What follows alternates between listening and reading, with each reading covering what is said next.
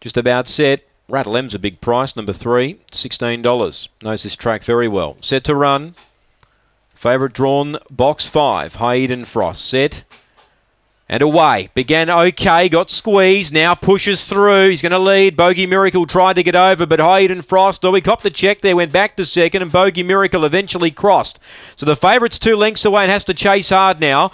Four lengths away to She's Stunning. Then came Rock the Bellevue and Destiny Firebird. Then our Hannah a mile back with Rattle Lem and also McKinley up front. Leader Bogey Miracle. Hayden Frost is coming to the outside. He's coming for a look now. He starts to move up alongside Bogey Miracle and got the better of him.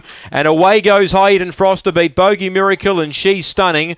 Destiny Firebird ran fourth. Then Rock the Bellevue, never a chance. Then also McKinley.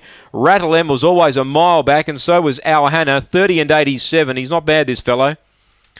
Hayden Frost knows how to get the job done.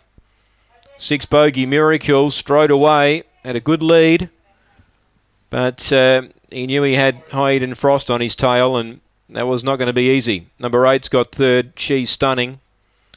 One fourth, Destiny Firebird. Five, six, eight, one, 30 and 87. 15.01 the run home.